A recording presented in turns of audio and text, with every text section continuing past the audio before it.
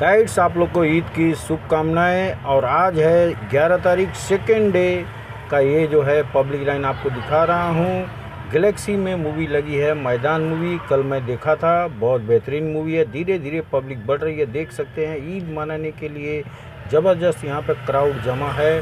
और अजय देवगन ऐसे slow motion की तरह सबके दिल में जगह बना लेते हैं। और ये जो है देख सकते हैं किस तरह यहाँ पे माहौल जमा है, किस तरह पब्लिक जो है पब्लिक का क्राउड है और पब्लिक जो है जमाने में, दिल में, जगह बनाने में अजय देवगन माहिर हैं। तो दोस्तों, देख सकते हैं, मैं आपको पब्लिक लाइन दिखा रहा हूँ, अंदर जाते हुए पब्लिक लाइन किस तरह से क्लैश में भी आने के बावजूद भी अजय देवगन जो है धीरे धीरे स्लो मोशन की तरह पब्लिक में जगह बना रहे देख सकते हैं फैमिली ऑडियंस के साथ तो बस इतना ही। मैं यही चाहूँगा ऑटो वाले अंकल चैनल को सब्सक्राइब करना ना भूलें। सब्सक्राइब करने पर लाइक और शेयर ज़रूर करें। नमस्कार।